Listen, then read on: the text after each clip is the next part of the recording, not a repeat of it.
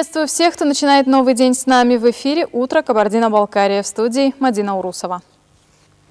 И начнем с главного. За эффективную совместную работу органов власти республики и Федеральной службы по труду и занятости Арсена Конокова поблагодарил глава Роструда Юрий Герций. В своем письме к руководителю Кабардино-Балкарии он отметил, что в республике действует современная, хорошо укомплектованная служба, способная оказывать конкретную и адресную помощь людям, а также осуществляются выплаты всех видов социальной поддержки безработным гражданам.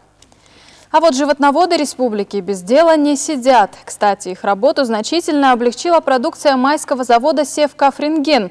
Труженики частного подворья и фермеры получили удобную в применении установку индивидуального доения коров.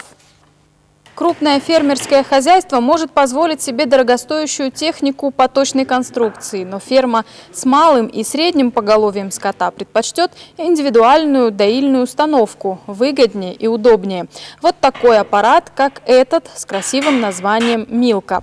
Он вполне обеспечит обслуживание небольшого стада. Кроме того, эта установка для дойки коров настраивается с учетом физиологических особенностей каждого животного. Восьмая Прохладнинская школа имени Пушкина отметила юбилей. В день 75-летия выпускники и ветераны педагогического труда еще раз собрались здесь, чтобы ощутить теплоту дружной семьи пушкинцев.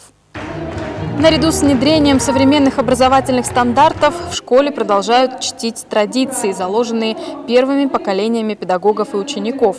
Гордость школы – учителя и, естественно, кадеты.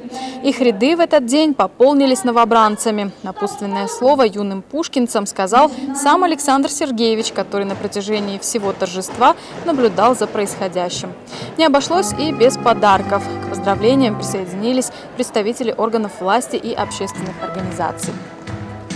70 лет прошло со дня освобождения Кабардино-Балкарии от фашистских оккупантов. Сегодня в нашей рубрике «Улица, на которой я живу» мы перенесемся во времена Великой Отечественной и вспомним историю о пяти братьях, которые ушли на фронт. Теперь в их честь названа улица в Тереке. Наталья Булат продолжит. Этот район в Тереке называют новостройкой. Где он располагается, смогут ответить разве что живущие рядом. Но имя, которое носит улица, знает каждый житель города. В годы Великой Отечественной на войну поочередно ушли пять братьев Аксоровых. Ни один не вернулся. Амшари э, служил в Житомире. Немцы же на Житомир первое это нападение делали. И он там сражался. И оттуда начал отступать. Он, э, короче говоря, мы не знаем, когда они погибли, и даже извещения не, не, не было о Борисе и э, Амшари. Могилы Бориса, Амшири и Мухадина родные ищут до сих пор. Говорят, очень хочется верить, что не остались они непогребенными, а за могилами братскими ухаживают достойно. Хамиша и Крым на фронт ушли в 42-м, воевали под Моздоком. Крым получил тяжелое ранение и умер от ран. Хамиша погиб на поле битвы. На разведку вышли они а бронепоезд, который шел из, оттуда с, э, Астрахани, заехал туда, немецкий бронепоезд, оттуда высыпался вот эти немцы, и э, а на разведке через Терек они перешли. Их было, как говорят они, 8 человек на разведку пришли туда с одним офицером. Их всех перебили. Добиваться того, чтобы именем братьев Аксоровых назвали одну из улиц Терека, родные начали лет 20 назад. В декабре 2006-го Совет местного самоуправления городского поселения решение принял. Наталья Булат, Адмир Сабанчиев, Вести утро. Кабардино-Балкария. Пока на этом все. Эфир продолжат мои московские коллеги, ну а мы с вами увидимся через полчаса.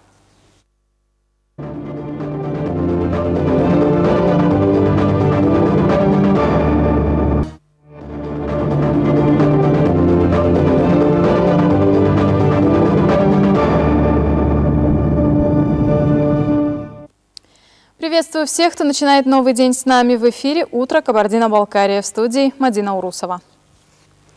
И начнем с главного. За эффективную совместную работу органов власти республики и Федеральной службы по труду и занятости Арсена Конокова поблагодарил глава Роструда Юрий Герций. В своем письме к руководителю Кабардино-Балкарии он отметил, что в республике действует современная, хорошо укомплектованная служба, способная оказывать конкретную и адресную помощь людям, а также осуществляются выплаты всех видов социальной поддержки безработным гражданам. А вот животноводы республики без дела не сидят. Кстати, их работу значительно облегчила продукция майского завода «Севкафринген». Труженики частного подворья и фермеры получили удобную в применении установку индивидуального доения коров. Крупное фермерское хозяйство может позволить себе дорогостоящую технику поточной конструкции, но ферма с малым и средним поголовьем скота предпочтет индивидуальную доильную установку, выгоднее и удобнее. Вот такой аппарат, как этот, с красивым названием «Милка». Он вполне обеспечит обслуживание небольшого стада. Кроме того, эта установка для дойки коров настраивается с учетом физиологических особенностей каждого животного. Восьмая Прохладнинская школа имени Пушкина отметила юбилей. В день 75-летия выпускники и ветераны педагогического труда еще раз собрались здесь, чтобы ощутить теплоту дружной семьи пушкинцев. Наряду с внедрением современных образовательных стандартов в школе продолжают чтить традиции, заложенные первыми поколениями педагогов и учеников. Гордость школы – учителя и, естественно, кадеты. Их ряды в этот день пополнились новобранцами. Напутственное слово юным пушкинцам сказал сам Александр Сергеевич, который на протяжении всего торжества наблюдал за происходящим. Не обошлось и без подарков. К поздравлениям присоединились представители органов власти и общественных организаций организаций. 70 лет прошло со дня освобождения Кабардино-Балкарии от фашистских оккупантов. Сегодня в нашей рубрике «Улица, на которой я живу» мы перенесемся во времена Великой Отечественной и вспомним историю о пяти братьях, которые ушли на фронт. Теперь в их честь названа улица в Тереке. Наталья Булат продолжит. Этот район в Тереке называют новостройкой. Где он располагается, смогут ответить разве что живущие рядом. Но имя, которое носит улица, знает каждый житель города. В годы Великой Отечественной на войну поочередно ушли пять братьев Аксоровых. Ни один не вернулся. Амшари э, служил в Житомире. Немцы же на Житомир первое это нападение делали. И он там сражался. И оттуда начал отступать. Он, э, короче говоря, мы не знаем, когда они погибли, и даже извещения не, не, не было о Борисе и э, Амшари. Могилы Бориса, Амшири и Мухадина родные ищут до сих пор. Говорят, очень хочется верить, что не остались они непогребенными, а за могилами братскими ухаживают достойно. Хамиша и Крым на фронт ушли в 42-м, воевали под Моздоком. Крым получил тяжелое ранение и умер от ран. Хамиша погиб на поле битвы. На разведку вышли они а бронепоезд, который шел из, оттуда, с, э, Астрахани, заехал туда, немецкий бронепоезд, оттуда высыпался вот эти немцы, и э, а на разведке через Терек они перешли. Их было, как говорят они, восемь человек на разведку пришли туда с одним офицером.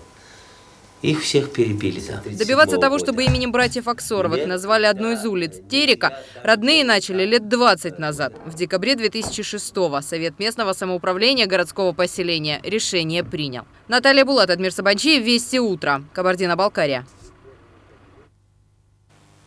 У меня на этом все. Пишите нам в Фейсбуке и звоните по телефону 47 36 30. Увидимся завтра. Просыпайтесь вместе с нами, и ваш день обязательно будет удачным. До встречи.